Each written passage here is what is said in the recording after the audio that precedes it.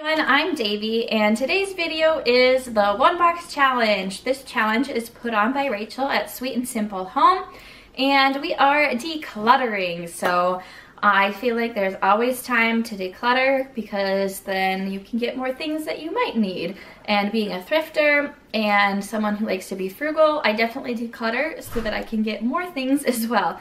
But today I have a one bag challenge. So I have lots of stuff I'm getting rid of. Um, a lot of it is clothing because I just had a baby two weeks ago and I just went through my clothes and got rid of quite a few things and only half my clothes too.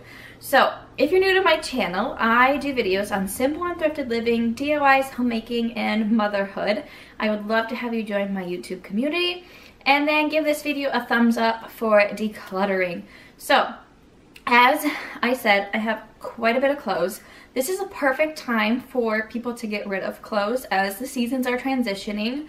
It is now springtime and the weather is changing to warmer temperatures. So go through as you put away those winter clothing items and get rid of things that are outdated, worn out, that you no longer have worn. As you put in your spring, you can look through those as well and get rid of the items you no longer wear or that just you're not enjoying anymore. That's kind of what I have done as well as getting rid of some of the maternity clothes that were looking worn out that I had.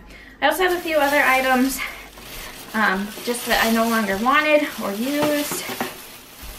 So this mirror, for instance, is super cute, but I just haven't used it anywhere. So um, a big clock here that I no longer use and I don't even know if it works anymore. So getting rid of things like that.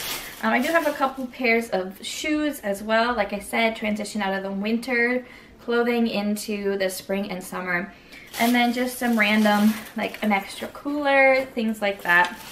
But yeah, perfect time of year to declutter those clothing items that you no longer want, no longer love, that you can purge, donate, sell, whatever you want. I'm a big fan of Facebook Marketplace to sell items on.